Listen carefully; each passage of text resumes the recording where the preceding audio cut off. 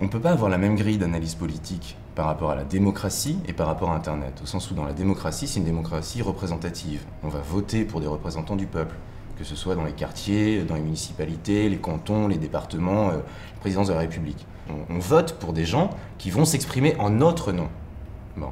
Sur Internet, c'est pas comme ça. Sur Internet, c'est tout un chacun peut s'exprimer. Donc on va pas donner le pouvoir à quelqu'un de s'exprimer à ma place. Über offene Netzwerke und offene Plattformen statt.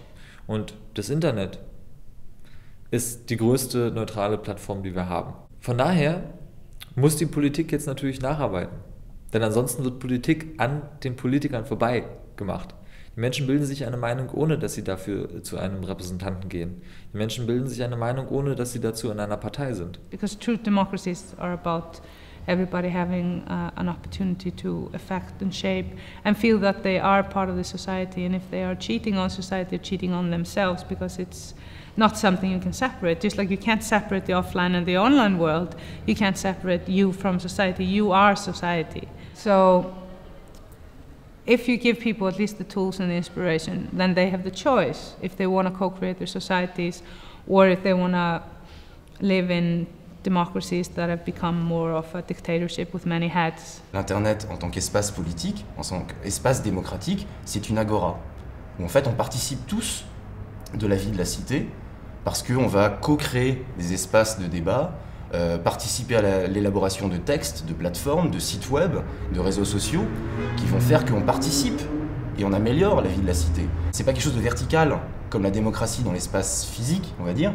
Dans cet espace virtuel, c'est horizontal, tout le monde a droit à la parole et tout le monde peut participer. By the law, the, the, the structure of power is from down to up. In reality, in many parties, it's from up to down. And let's see how we can change it.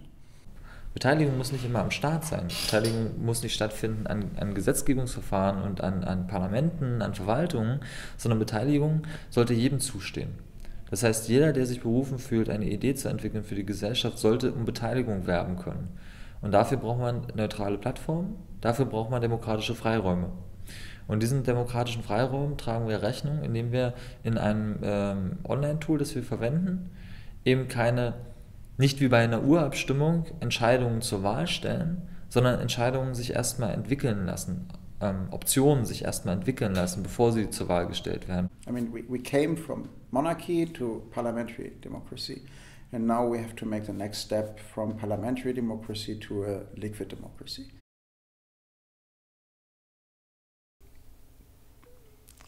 C'est toujours un débat sur la, définition de la démocratie et ce, qu'on entend.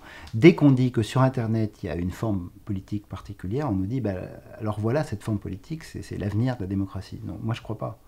Euh, et, surtout, l'idée que cette forme politique particulière se soit faite contre la démocratie représentative. C'est l'idée de les opposer. Si on est contre la démocratie représentative, ou en tout cas si on a l'impression que les règles de l'élection, euh, de la délégation et de l'appartenance partisane pour euh, concourir au poste de conquête du pouvoir euh, sont critiquables, euh, on est immédiatement dans la proposition d'une autre forme politique.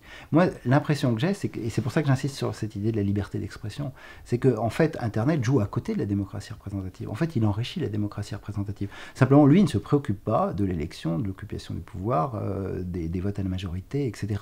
Et que cet enrichissement de la démocratie représentative, il vient remplir des manques et des difficultés qui sont propres au, mécanisme de délégation euh, de la démocratie représentative, mais il ne s'y substitue pas. Et surtout, la, la rêverie d'Internet, c'est plutôt d'enrichir la société civile, c'est-à-dire que c'est en fait plutôt un modèle politique qui est organisé autour de l'idée de l'auto-organisation, et qu'il y a plein de tâches voilà, dont on n'a pas besoin de on n'a pas nécessairement besoin de confier à un exécutif ou à l'État ou à des représentants ou à des délégués, mais que la société civile peut, et c'est ce côté libertaire libéral de l'Internet, peut prendre en charge de façon collective et auto-organisée. Voilà, une encyclopédie, elle peut être faite dans les manuels scolaires, elle peut être faite par euh, des éditeurs privés, ben on peut la faire aussi nous-mêmes. Voilà, et ben faisons-la.